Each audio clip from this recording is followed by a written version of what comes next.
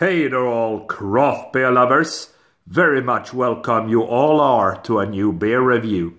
Uh, going to take a take a look at a new brewery, but well, perhaps not new to the channel because I have reviewed a couple of beers from these guys, but from one of their subdivision companies called Prophecy Brewing.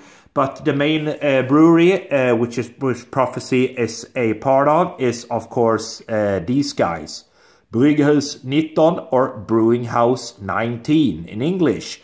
And for this one, we're going for the big stuff, taking a look at their Galactic Boss Imperial Stout, clocking in at 10% ABV, as you can see there, in a 473ml can, or 1 pint sized can. Contains malted barley and lactose, they say, and that's it. And here's a look at the artwork. There you go. Galactic Boss Imperial Stout. With that said, guys, let's get that top off, see what we get. There we go. So a little bit of uh, Impy Stout time tonight. Let's give it a good old center pour. In the big glass here, see what we get. It certainly looks jet black Oh yeah. There we go. Right, let's stop right there. So it generated quite the head. Right. Oh, I can get the smell now. There you go. Galactic Boss, guys. What do we have? Three fingers worth of a nice, very, very kind of espresso colored head certain lot of small bubbles on top. Certainly jet black beer on that pour. Look at that. What a lovely presentation that is. It certainly looks the part like a big old imperial stout. 10% onto the nose. Yeah molasses. Sweet dark roasted malts in abundance there. Coffee almost like a smoked sensation on the nose lurking about. Dark chocolate perhaps. Oh yeah, certainly that. Sweet, dark roasted malts, a little bit of molasses, dark chocolate, coffee. It smells the part as well. Looks the part, smells the part. Let's get on with it. Cheers all.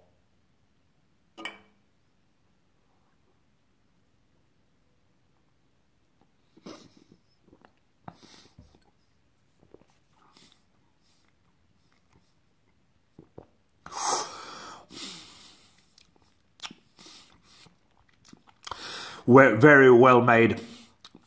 Very well made Imperial Stout. Russian style Imperial Stout.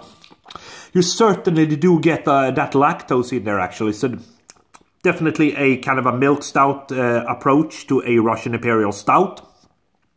Lovely kind of sweet, very sticky and sweet uh, Imperial Stout. Sticks on the palate very sweet. That you get the lactose, a little bit of a slight vanilla vibe. You get a ton of sweet dark roasted malts, molasses in there. Definitely a hint of coffee as well. Again, I like it. I like it. Mm. Mm. Yeah, again, that molasses vibe little bit of uh, maybe like dark fruits like raisins in there, dates, figs, a little bit of that kind of dark sweet fruits. I like it guys, uh, I like it. I've been holding on to this for a while actually, but I thought, well, tonight's the night. I'm gonna crack it open and review it. And boy, that was a nice one. Glad I did.